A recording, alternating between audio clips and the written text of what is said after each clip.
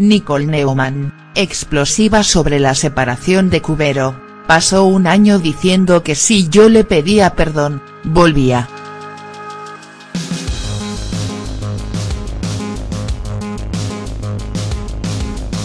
La top le reveló a gente intimidades de su conflictivo divorcio del padre de sus hijas y sorprendió con sus declaraciones.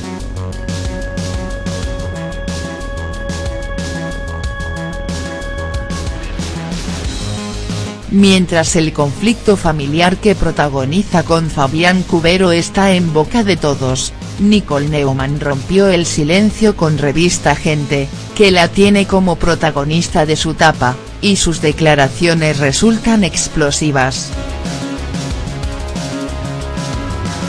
Tras las quejas públicas de Cubero por el viaje que Nicole hizo a Salta con sus hijas Indiana, Allegra y Sienna,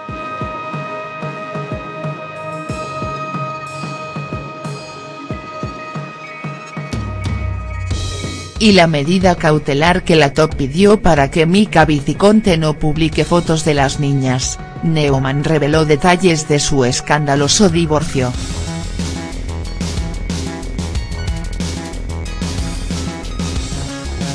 Ya no sabe por dónde pegarme.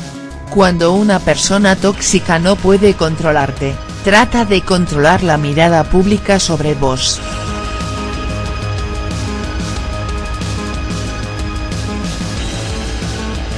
Y le queda más fácil intentar hacerme quedar mal frente a todos, aseguró.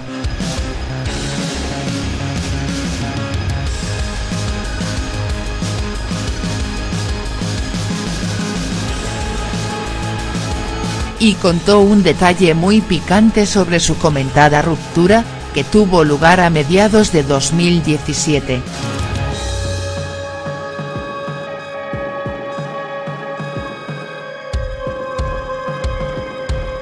Después de separarnos pasó un año entero diciéndole a mis amigos que moriría con la alianza puesta y que si le pedía perdón, volvía de inmediato. Tremendo.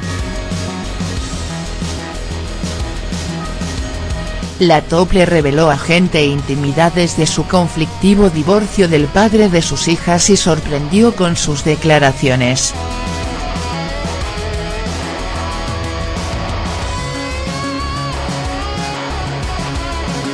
Mientras el conflicto familiar que protagoniza con Fabián Cubero está en boca de todos, Nicole Neumann rompió el silencio con Revista Gente, que la tiene como protagonista de su tapa, y sus declaraciones resultan explosivas. Tras las quejas públicas de Cubero por el viaje que Nicole hizo a Salta con sus hijas Indiana, Allegra y Sienna,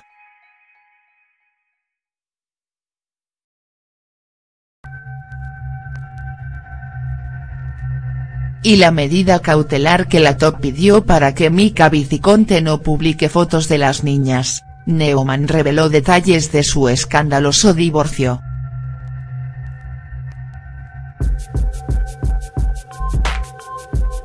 Ya no sabe por dónde pegarme. Cuando una persona tóxica no puede controlarte, trata de controlar la mirada pública sobre vos.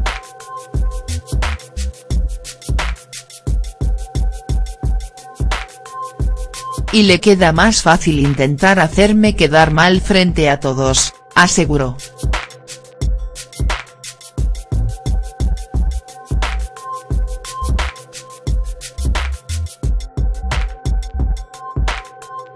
Y contó un detalle muy picante sobre su comentada ruptura, que tuvo lugar a mediados de 2017.